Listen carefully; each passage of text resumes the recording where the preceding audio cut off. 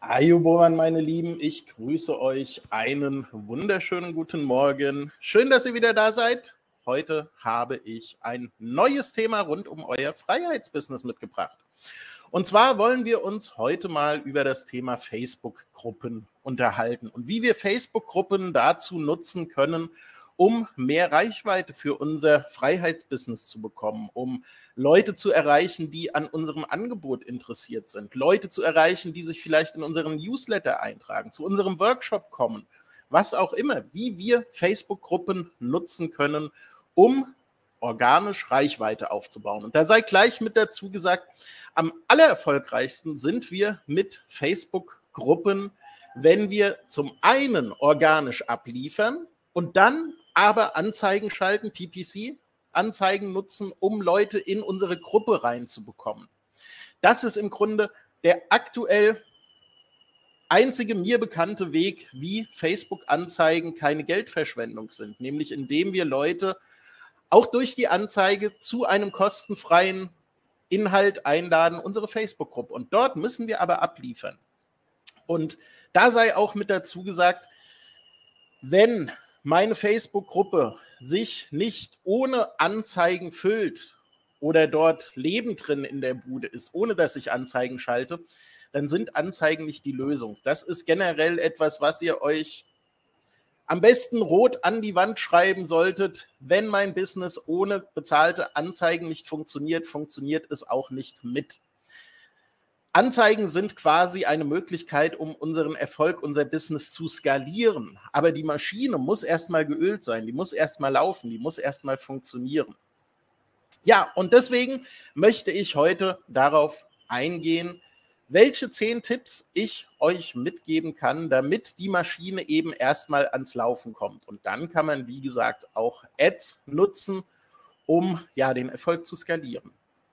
Das, was ich euch hier zeige, ist also für eure Facebook-Gruppe gedacht und alles kostenfrei, wenn wir es monetär sehen. Es ist häufig so, dass da, wo ich Geld spare, ich dafür proportional unverhältnismäßig Zeit rein investieren muss. Aber manchmal ist man eben in der Situation, wo man sagt, okay, ich habe im Moment Zeit, aber das Geld fehlt mir.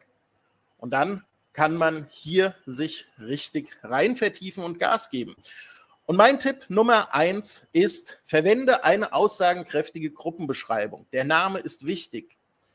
Der Name deiner Facebook-Gruppe sollte den potenziellen neuen Mitgliedern direkt schon mal eine Idee davon liefern, was überhaupt in der Gruppe passiert, was es dort gibt, was der Inhalt ist, was der Vorteil oder der Benefit davon ist, wenn ich jetzt in die Gruppe eintrete. Also schon durch den Namen muss mir klar werden, worum geht es und was habe ich davon, wenn ich dieser Gruppe beitrete.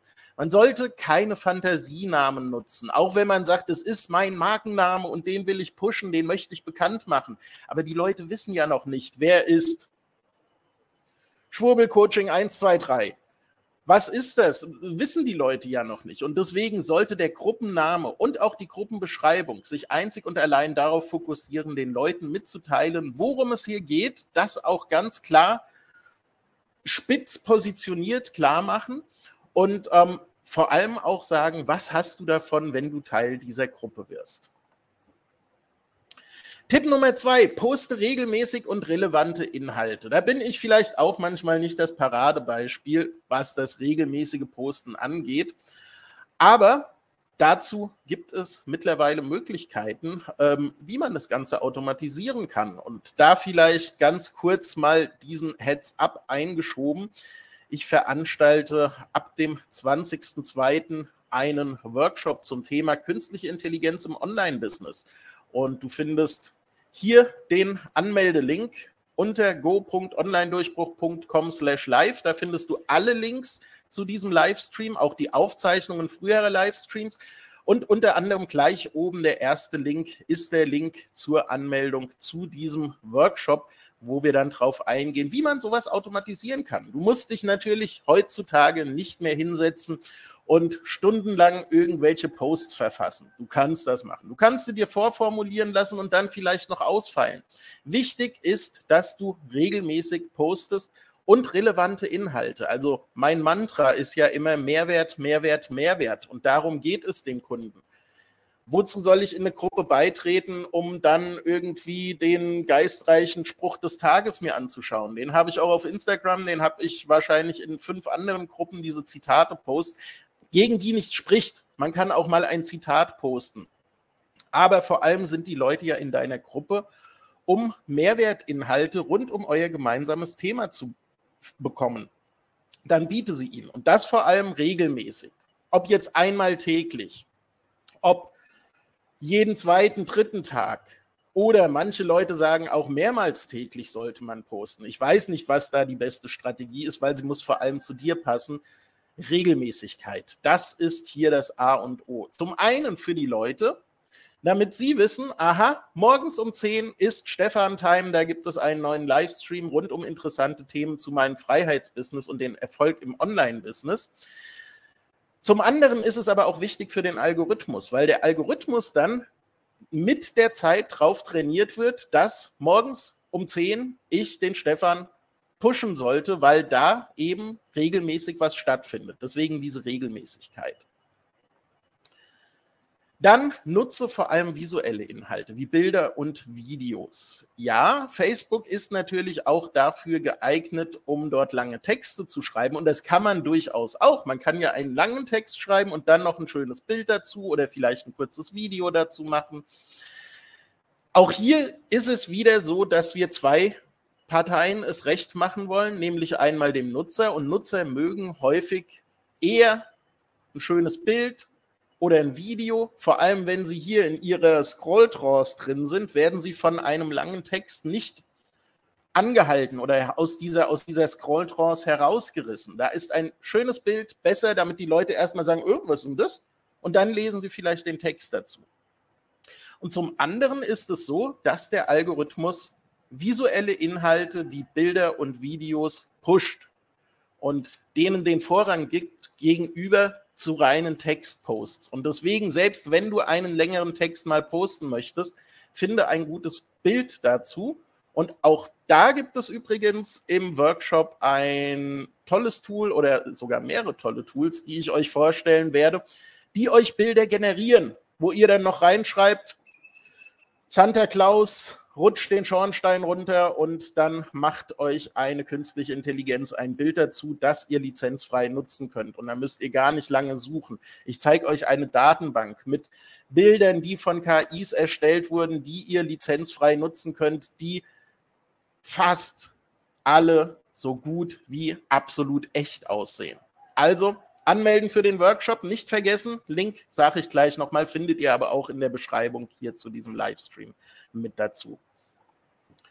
Tipp Nummer vier, fördere die Interaktion durch Fragen und Umfragen. Also zum einen kannst du ja so einfach als Text schreiben, hat jemand eine gute Idee, welchen Laptop ich wählen sollte?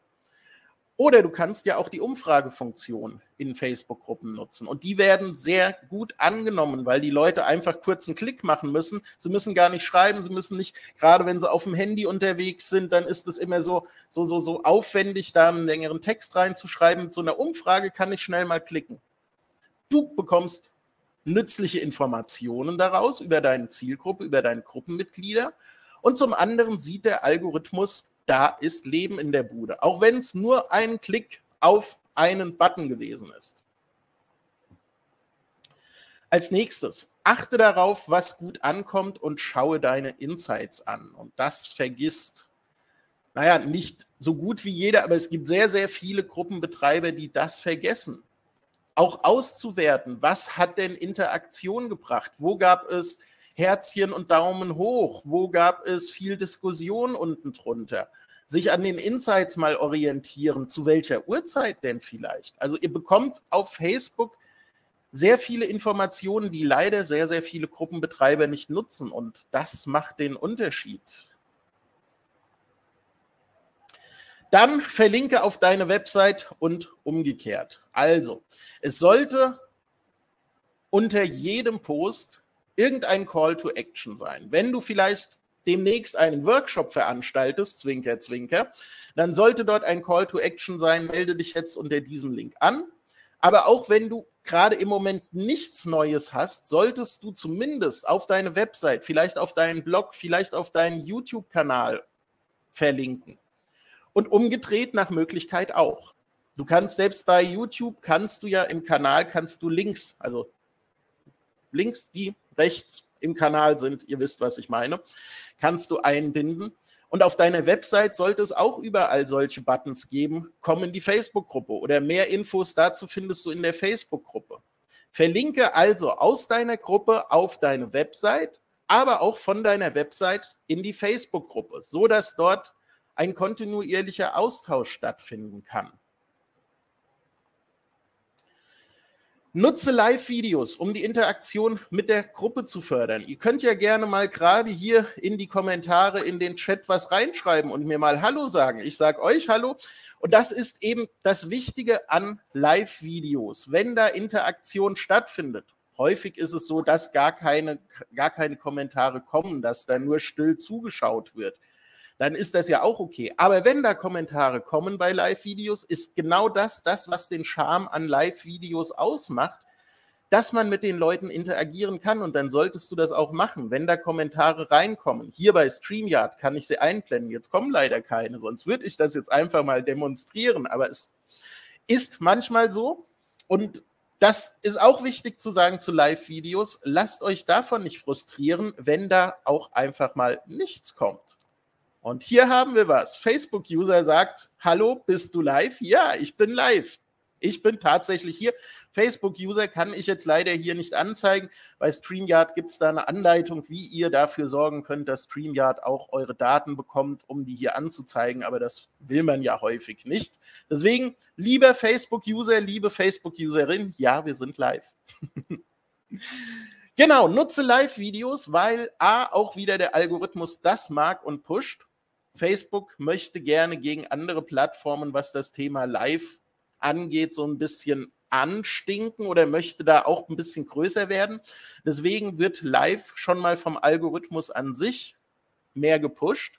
Und dann ist es eben auch genau diese Interaktion, dass ich mal sagen kann, wie findet ihr das? Was wollen wir hier das sind jetzt dann eher so die klassischen Livestreamer auf Twitch oder so. Was für ein Video wollen wir uns als nächstes anschauen? Was für ein Thema habt ihr? Gibt es dazu noch Fragen? Wenn ja, dann jetzt in den Chat, dann beantworte ich euch die gerne. Das ist das, was eben das Live für den Teilnehmer in der Gruppe so charmant macht. Und wie gesagt, der Algorithmus pusht live, weil ja, Facebook da Twitch und Co. ein bisschen was abnehmen möchte. Jetzt weiß ich, dass du wirklich live bist. Grüße von Norbert. Hi Norbert, ich grüße zurück. Ja, manchmal spiele ich euch hier ein altes Video auch mal aus, wenn ich eben um 10 einen anderen wichtigen Termin habe oder ähm, vielleicht auch die Technik mal nicht klappt. Ich habe ja hier das Internet. Ich weiß nicht, wie es heute ist. Ich kriege immer wieder so die Meldung, da oben kriege ich es angezeigt, dass das Internet schon wieder so am runtergehen ist. Und wenn es dann hier gewittert und stürmt und alles, dann sende ich auch mal eine Aufzeichnung. Aber jetzt sind wir gerade live. Ja, dann achter Tipp. Involviere Influencer oder andere bekannte Personen, um die Reichweite zu erhöhen. Das heißt, lade aktiv Leute aus deiner Nische ein. Influencer ist jetzt so ein Begriff, selbst Influencer mögen diesen Begriff nicht. Ich sage mal eher so die, die Wortführer, Redelsführer, naja, ihr wisst, was ich meine. In eurer Nische gibt es sicherlich auch Persönlichkeiten, die gut vernetzt sind, die tolle Inhalte rausgeben, die Gott und die Welt kennt und die Gott und die Welt kennen. Und ähm, ja, dann ladet doch diese Leute persönlich ein, in eurer Gruppe teilzunehmen. Ähm, macht das wirklich persönlich, weil ich kann euch sagen, ich bekomme pro Tag mindestens 20 Einladungen, irgendeiner Gruppe beizutreten, wo ich gar nicht weiß, was ist das. Ich kenne vielleicht die Person, die diese Gruppe startet. Ähm, es ist dann ein bisschen schöner, wenn man dann auch persönlich angeschrieben wird und sagt, hier, ich habe gesehen, du bist auch in diesem Thema unterwegs und ich finde deine Posts immer so genial. Ich möchte dich einladen, hier auch in der Gruppe teilzunehmen. Ich würde dich auch dafür freischalten, dass du auch gerne mal was von dir dort rein posten kannst.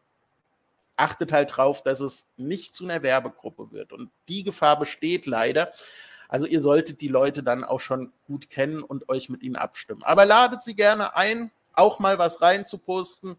Ähm, das ist eine Win-Win-Win-Situation. Und darum geht es ja letzten Endes. Wenn wir so eine Gruppe machen, wenn wir da Reichweite aufbauen wollen, dann geht es ja um eine Win-Win-Win-Situation. Es geht nicht darum, irgendeinen Schmodder ins Internet rauszublähen, ähm, um einfach nur irgendwie den Algorithmus zu befriedigen. Nein, es geht ja darum, dass unsere Gruppenmitglieder wertvolle Inhalte bekommen, dass sie Mehrwert bekommen.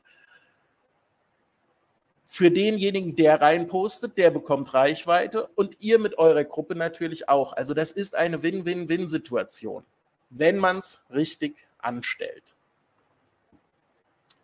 Dann Tipp Nummer 9. Nutze Veranstaltungen, um die Interaktion und die Reichweite zu erhöhen. Also ihr könnt ja in eurer Gruppe Veranstaltungen anlegen und dann macht ihr mal einen Streamabend oder ihr macht einen Workshop oder ihr macht einfach mal einen offenen Zoom-Call zu eurem Thema. Das habe ich am Anfang auch häufig gemacht. Ihr müsst natürlich überlegen, was zu euch passt, was auch zum Thema passt. Wenn es jetzt wirklich so intime Coaching-Themen sind, wo es um, um Depressionen oder sowas geht, dann ist eine offene Fragerunde vielleicht nicht das richtige Format. Aber auch das kann man natürlich mal ausprobieren. Ja, Mark Zuckerberg einfach mal einladen, in der Gruppe teilzunehmen.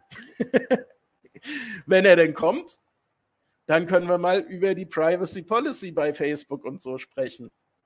Ja, also nutzt Veranstaltungen.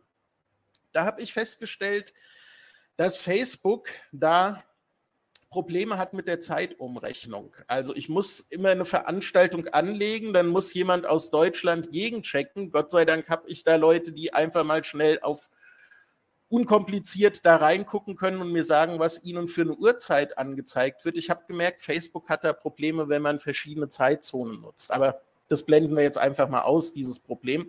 Nutzt Veranstaltungen, um die Leute auf Events aufmerksam zu machen und bietet natürlich auch was. Also nicht einfach nur eine Veranstaltung anlegen, heute ist Freitag, juhu, sondern ähm, da muss natürlich auch was geboten werden. Aber vielleicht ein Livestream, ein offener Call, ein Workshop, was auch immer. So, und schließlich mein Tipp Nummer 10. Nutze Teilen um die Verbreitung von Beiträgen zu fördern. Zum einen nutze das Teilen von Posts von anderen Leuten, die du vielleicht bei dir im Stream angezeigt bekommst, weil du in deren Gruppe bist oder vielleicht sie es auch in ihrem privaten Profil gepostet haben. Nutze also dort das Teilen, um in die Gruppe zu teilen und ja, da so ein bisschen Support zu geben. Glaubt mir, wer Support gibt, bekommt auch Support. Nicht immer von allen Menschen. Es gibt auch Leute, die nur den Support von euch nehmen wollen, wie so Energievampire und selber nicht supporten. In aller Regel kann man aber sagen, wenn ihr andere supportet, werdet auch ihr supportet. Das ist Punkt Nummer eins. Und jetzt die andere Richtung, der Teilen-Button, wie oft, und ihr könnt mir hier gerade mal gerne in den Chat reinschreiben, wie oft ihr das schon erlebt habt, dass jemand einen total genialen Post hat, den ihr gerne teilen wollt, und dann ist die Teilen-Funktion aber deaktiviert. Dann könnt ihr da gar nicht auf Teilen klicken. Ab und an passiert es dann nochmal, dass man diese Person anschreibt und fragt, du könntest du das Teilen aktivieren? Ich würde das gerne für dich teilen, aber hey, das ist ja wie, wenn wir den Vorwerkvertreter bitten, dass er uns mal eine Präsentation macht, weil wir wollen Staubsauger kaufen. Wir wollen ja dem anderen was Gutes machen und er hat die Teilenfunktion deaktiviert, häufig aus Unwissenheit. Deswegen achtet darauf, dass ihr in eurer Gruppe den Teilen-Button aktiviert habt. Wenn Leute euch supporten wollen, dann sollten sie es auch tun können, ohne dass sie wiederum dadurch Unannehmlichkeiten haben und euch dann anschreiben müssen. Und hier, ja, kommt manchmal vor und ist, denke ich, ein ganz großer Lapsus, weil in den meisten Fällen ist es den Betreibern dieser Gruppe gar nicht bewusst, dass man ihre Beiträge nicht teilen kann. Checkt das also mal mit irgendeinem Bekannten, irgendeiner Bekannter, die in eurer Gruppe ist, bevor es richtig Bass in eurer Gruppe gibt, also bevor da richtig viele Leute reinkommen, checkt auch das mal gegen, lasst einen Bekannten, eine Bekannte mal schauen, funktioniert der Teilen-Button. Darf man meine Beiträge teilen? Und wenn nicht, warum nicht? Sollte man. Ja, ihr Lieben, das sind meine zehn Tipps rund um die Frage, wie wir mit einer Facebook-Gruppe Reichweite bekommen. Und ich weise euch noch einmal darauf hin, dass ich ab dem 20.02. einen Workshop veranstalte rund um das Thema, wie wir KI, künstliche Intelligenz, in unserem Online-Business nutzen können, beispielsweise um regelmäßig Posts zu haben. Die Frage erübrigt sich, was soll ich denn heute posten? Ich zeige euch in diesem Workshop, wie ihr euch eine kilometerlange Liste von Themen machen lassen könnt und dann der KI sagt, verfasse mir bitte einen Facebook-Post von 500 Worten zu diesem Thema. Bam, habt ihr euren Post des Tages fertig. Es ist kein Problem mehr, regelmäßig in einer Gruppe zu posten. Wie das Ganze funktioniert, findet ihr in meinem Workshop und den Link zum Workshop findet ihr unter go.onlinedurchbruch.com slash live. Ihr habt es auch hiermit in der Beschreibung beim Livestream mit dabei. Da ist der Link auch zur Anmeldung zu diesem Workshop dabei. Ich würde mich freuen, wenn ihr mit dabei seid, weil neben diesem Generieren von Posts haben wir so viele Sachen. Schaut einfach nochmal das Video von gestern beispielsweise nach oder das von vorgestern. Da habe ich ein paar Tools und Methoden schon mal vorgestellt. Und da gehen wir in die Tiefe bei diesem Workshop. Meldet euch an. Die Teilnehmerzahl ist auf 150 begrenzt. A, weil ich da eine technische Einschränkung hier habe, so wie ich es machen möchte. Und B, weil ich natürlich nicht Gott und die Welt all die genialen Tricks offenbaren möchte, die wir nutzen können. Zwinker, zwinker, nein. Meldet euch aber an und ich würde mich freuen, wenn ihr mit dabei seid. Ich würde mich auch freuen, wenn ihr morgen um 10 wieder hier mit am Start seid, wenn ich ein weiteres interessantes Thema rund um euer Freiheitsbusiness und euren Erfolg im Online-Business dabei habe. Jetzt wünsche ich euch aber erstmal einen genialen Tag. Macht es gut, ihr Lieben. Bis morgen. Ciao.